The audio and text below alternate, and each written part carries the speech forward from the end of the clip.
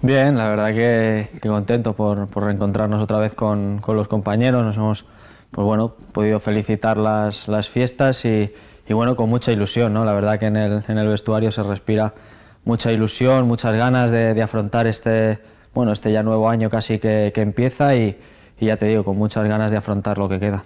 Sí, sabemos de la, de la importancia del partido, ¿no? Creo que, que, bueno, ahora vienen muchos rivales que bueno, los podemos considerar de, nuestra liga y, sabemos de la importancia de estos partidos. ¿no? Sabemos que, que, bueno, que si nosotros competimos bien somos un equipo muy, muy difícil de batir y, pienso que, que, bueno, que en casa debemos de ser fuertes y debemos de intentar conseguir los tres puntos, aunque sí que es cierto que el Depor viene en, en una muy buena dinámica y, bueno, está haciendo las cosas muy bien este año.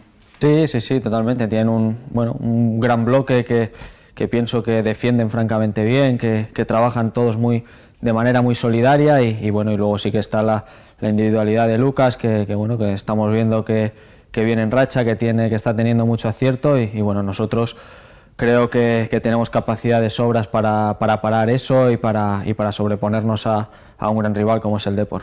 Sí, sí, sí, pienso que el, que el equipo, pese a no conseguir resultados fuera, estamos dando una, gran imagen. ¿no? El, claro ejemplo es el partido de, de Valencia, donde donde creo que incluso merecimos la victoria ante un rival complicado en, una plaza también muy difícil como es Mestalla. Y bueno, vamos a intentar crecer poco a poco, ya te digo, volver ahora mismo de las Navidades con, muchísima ilusión como, como hemos vuelto y, ya te digo que estoy convencido de que si seguimos así los resultados van a llegar y vamos a arrancar. Bueno, pues sobre todo salud para, todo el mundo, que, todos estemos bien y, y felicidad, ¿no? Al final pues bueno, yo particularmente soy feliz jugando al fútbol y, lo que voy a intentar es seguir haciendo mi trabajo de la, mejor manera posible por mi felicidad y, la de los míos. Bueno, la verdad que es muy positivo, ¿no? Yo sobre todo en lo que fue en Elche, que, prácticamente lo salvamos todo en la, segunda vuelta y, este inicio en Getafe, la verdad que, es muy positivo, ¿no? Yo he caído aquí con, con los pies, como se suele decir, estoy francamente feliz aquí y, bueno, ya te digo, esperemos que el 2016 venga aún mejor. ¿no?